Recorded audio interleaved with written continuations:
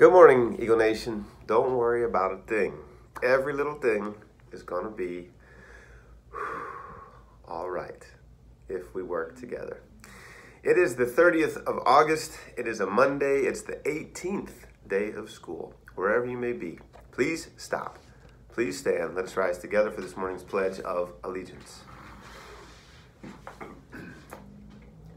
I pledge allegiance to the flag of the United States of America, and to the republic for which it stands, one nation, under God, indivisible, with liberty and justice for all.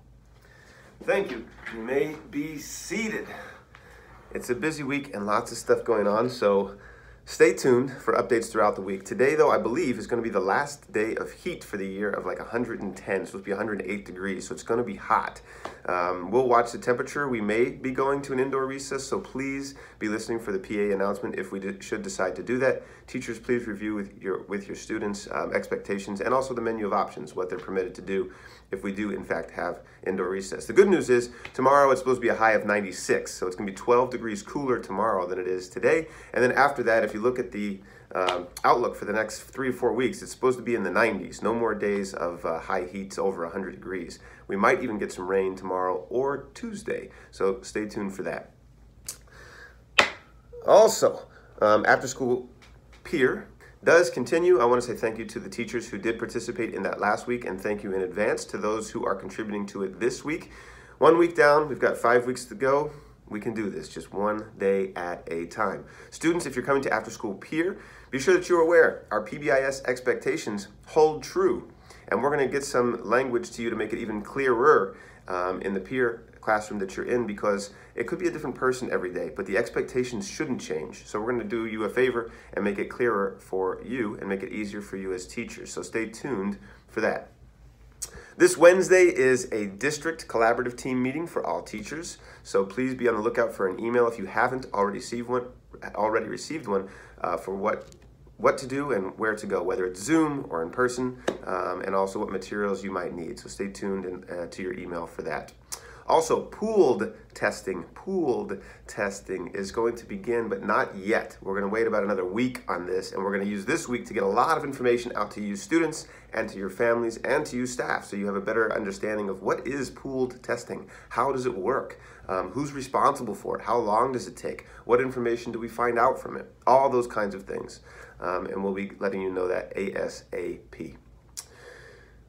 September's upon us, so we can shift our, our conversations and start to place some emphasis on instruction. Not entirely uh, forget about operations because we're still going one day at a time. But we have an important job to do, and you have an important job to do, students. So let's continue to set goals.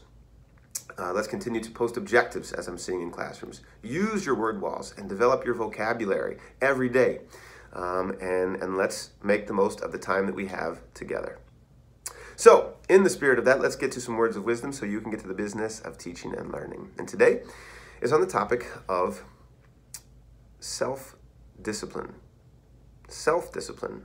Your ability to do what needs to be done, even when nobody else is watching. Great American historian Charles Kendall Adams studied the lives of many great men and women.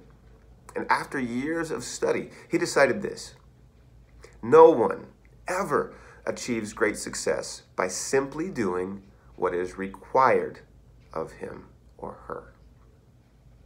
Mr. Adams is saying that successful people give a little extra effort. They go the extra mile.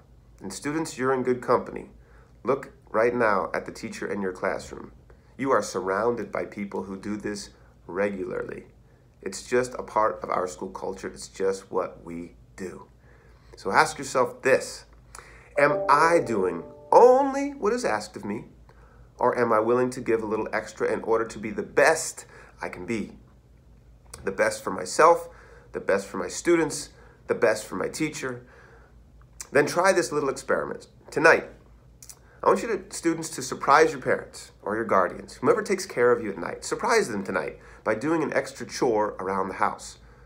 Or put in a little extra study time without being asked or practice just 10 more minutes on your musical instrument or in the hobby that you have.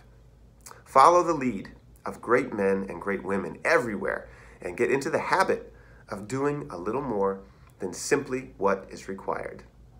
With something to think about, this is Mr. Lodato. Mask up, keep your distance, and make it a great day or not. The choice is yours.